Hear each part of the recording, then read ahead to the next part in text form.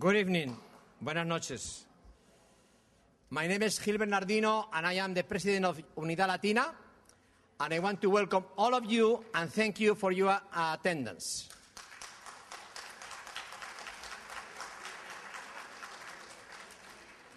I want to begin by thanking all the sponsors of the conference and especially the one that sponsored this um, night, this evening, the Time Warner Cable.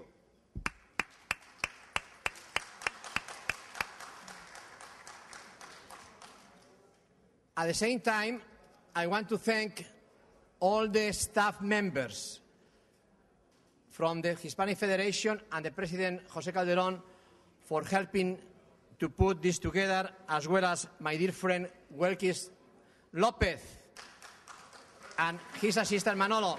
Welkis. And now, it is uh, an honor for me to tell you about the next speaker.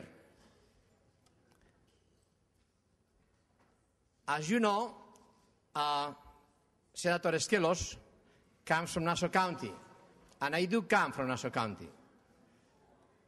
And I represent, I'm the founder and, and executive director of a non-profit organization called Círculo de la Hispanidad. And something that most Hispanics in New York State do not know is that Senator Eskelos, for many years, has supported Hispanic needs and causes. And I just want you to know that, if, that we, Círculo de la Hispanidad, with his help, built the first green gold building community center in York State, built by a non-profit community-based organization, thanks to Senator Eskelos.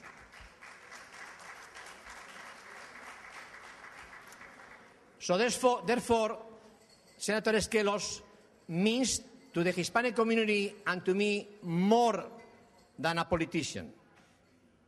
Is a person who lo- we love, we respect, we support, and forever will be remembered. And I can tell you that it is an honor again for me to present to you the Senate, the Senate Minority Leader, Dean Eskelos.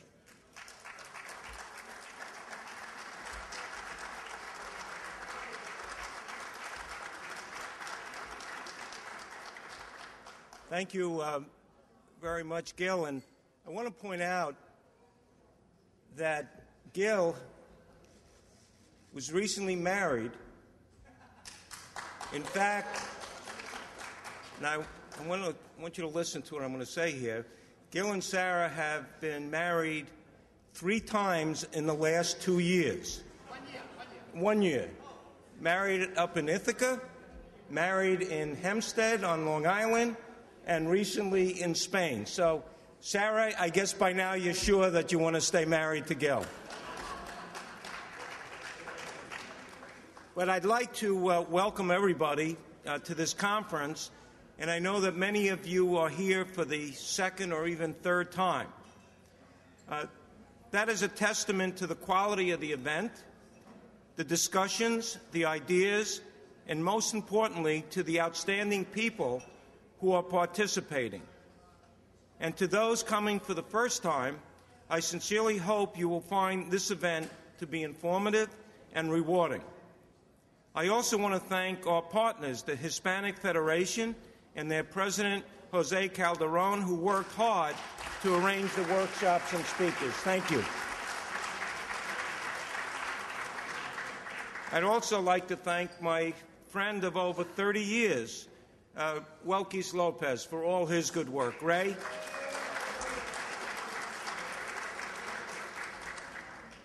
One part of the conference that I'm particularly proud of is tomorrow we will be presenting scholarships to outstanding young Latino students from across the state.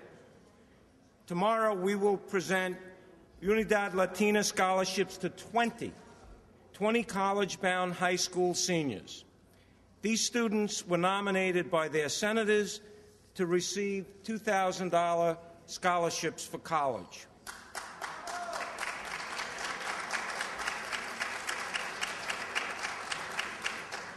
Now, they, and I think this is very important, they were chosen by an independent committee upon demonstrating academic achievement and community service. Their efforts and achievements give all, us, all of us hope for a better future.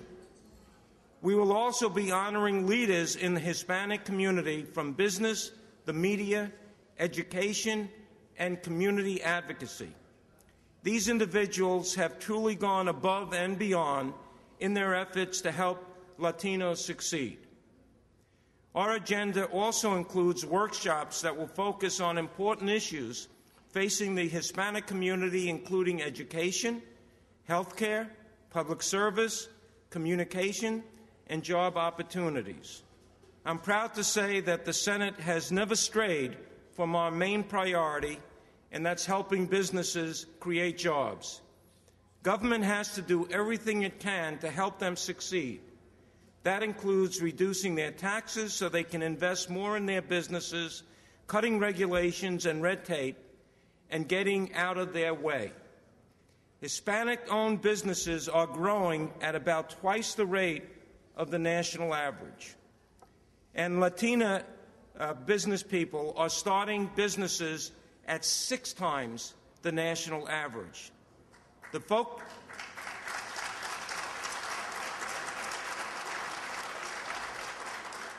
The focus of this conference is to share our experiences, share our knowledge, and our talents on the best ways to increase social and economic investments in the Latino community. It is imperative that we help Hispanic owned businesses grow and succeed. And that is what this conference is really about. Over the past few years, we have built a strong relationship with the Hispanic Federation and with the tremendous people that have attended and participated in this conference. I'm looking forward to a very interesting, productive weekend and to working with all of you in the future on issues that will benefit the Latino community and all of New York State.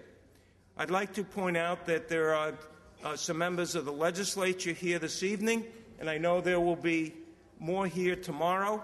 Uh, Senator John Flanagan, who chairs the Education Committee.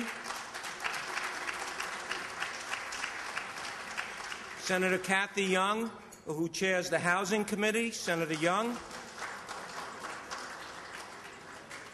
And also Assemblyman Peter Lopez. Peter, thank you for being here. And now I'd like to pass the mic along to our lead sponsor for this great conference. Time Warner Cable has been the lead financial backer and participant for this conference since its inception. Representing Time Warner Cable, please welcome news anchor for New York One Noticias, Carlette Keys.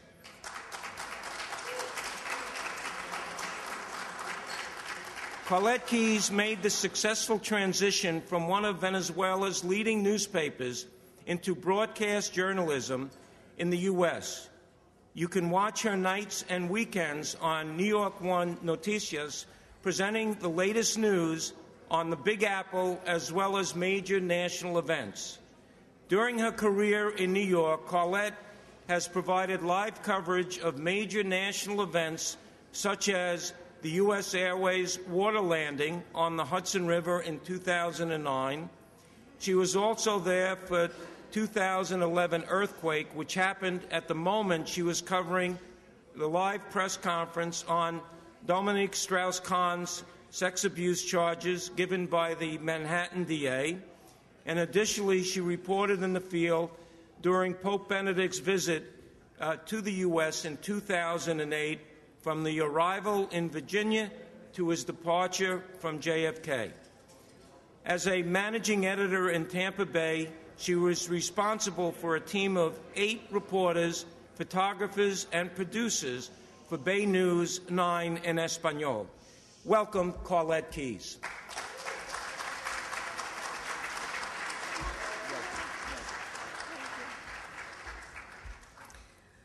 Hola, bueno, mi nombre es Scarlett Keys, soy anchor reporter of New York One Noticias. It's the uh, first and only 24-hour local news channel dedicated to the Spanish-speaking community of New York City.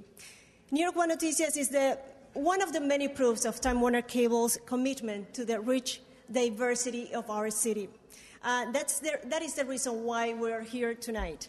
As a news station, we don't only cover the day by day sucesos, as we call it in Spanish, but also the accomplishments of our Hispanic leaders in business, culture, science, and policy. And in tune with Time Warner Cable's goals, we address the issues and concerns of Hispanic New Yorkers, the same goals that we will be, will be discussing later during the Unidad Latina conference. On behalf of Time Warner Cable, I want to thank the Hispanic Federation, of course, uh, the New York State Senate, and other Hispanic leaders for putting this event together for the third consecutive year. In the last few years, we have seen the great accomplishments of our community here in the city. But we also know that there's still a lot more to do or what needs to be done, and we look forward to discussing the challenges ahead in tomorrow's events especially given the crucial time is here in New York City for us. Uh, New Yorkers, of, course, are preparing to elect a new mayor, and the Affordable Care Act, we were just discussing that, is upon us. So there's a lot to discuss regarding how the Hispanic community is going to be affected. We hope to have those answers and have some solutions during the, co- the conference. So, uh, once again, welcome and thank you for supporting Unidad Latina Conference. And in, on behalf of Time Warner Cable, I really thank you for being here tonight. Now, let's welcome un gran líder of our state Latino community, Executive Director of Hispanic Federation, Jose Calderon.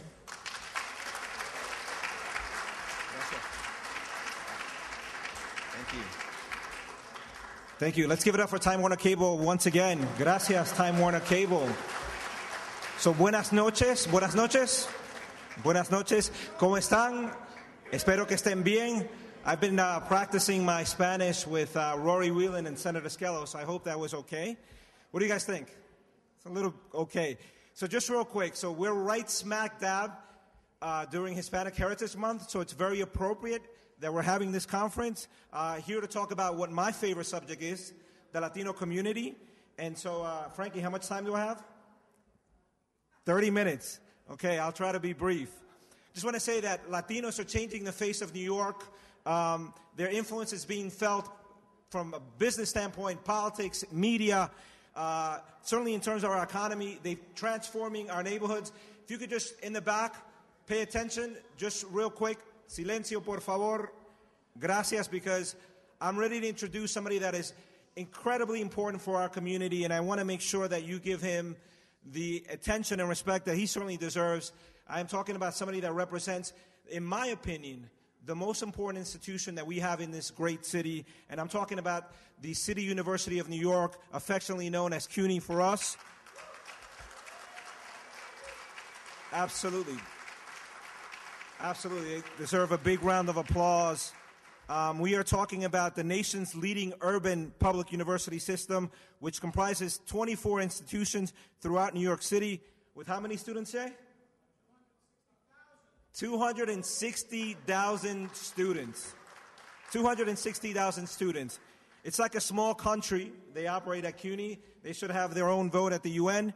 Um, what's important here is that we have their great leader uh, to give us a, a, few words, and that's why I'm sort of rushing through this because I know he has to leave, and he's been very gracious uh, and very patient to be with us. The great interim chancellor at CUNY. Let's give it up for William Kelly.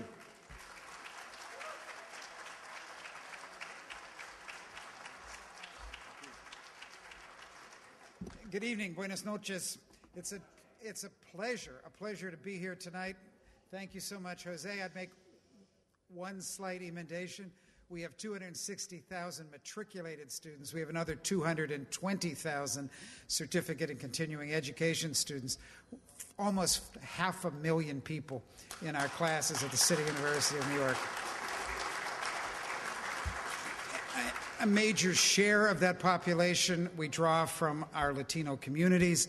We are enriched by their presence, inspired by their hard work, by their examples, and devote every effort that we can to ensure their success. It's what CUNY has done since its founding In 1847, we were launched to educate the children of the whole people. We take whole very seriously at our university. And in the midst of that whole are our extraordinary Latino population.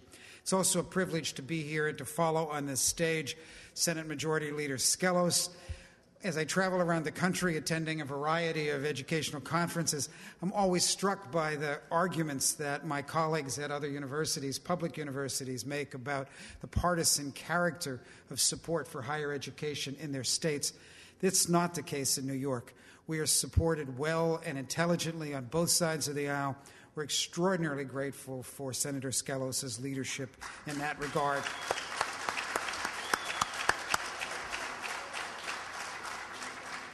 I also want to recognize, if I may, our great trustee Rita DiMartino, a good friend to this institution. Rita.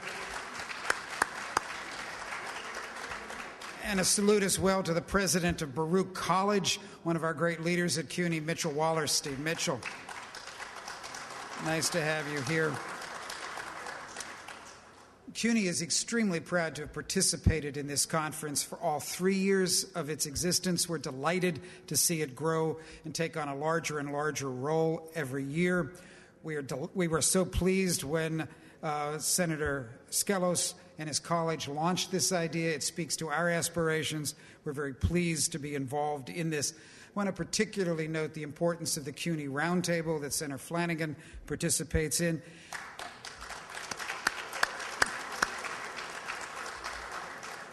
I, speak with students who participate in roundtables and in other events that are held in Albany and other legislative settings. And it is hard for me to express, unless you've been in the room, what this means to our students. What are really abstractions for them? Government, leadership, public service uh, becomes real. They are inspired by the example, by the intention, the seriousness that our legislators take in their work, and we're very grateful to you for doing that. So, uh, a deep thank you for that. This morning I was at John Jay College when we launched the CUNY Service Corps. This is 800 of our students going out into community organizations to work with those organizations. And again, it's an example of experiential learning that means so much in their lives. Finally, let me offer my thanks to all of you for your su- strong support for our university. Our students continue to flourish. CUNY has never been in stronger shape or in better hands at our colleges. Remarkable cohort of presidents. We're naturally pleased that so many of our students are part of your scholarship program. Let me put in a, in a commercial and advertisement, and, and thanks for that. Again, my heartfelt gratitude for this important partnership, one we will continue to nurture. And here's to a very outstanding conference. Thank you for all that you do in your lives. Thank you.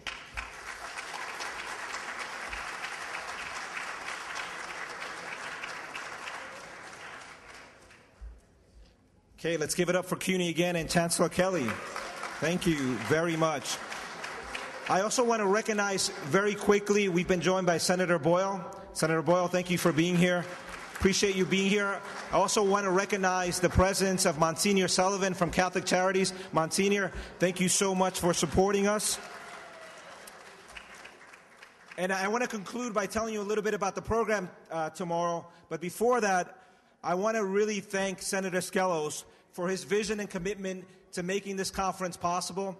This is really about creating an opportunity for us to engage in all different ways, all different sectors about the Latino community. And so, Senator Skelos, thank you again for your vision and commitment.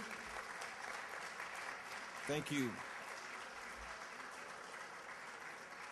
And I would be remiss if I didn't mention that Senator Skelos is the great master com- carpenter in terms of putting this conference together, but his hammer is Welkis Lopez, the great Welkis Lopez.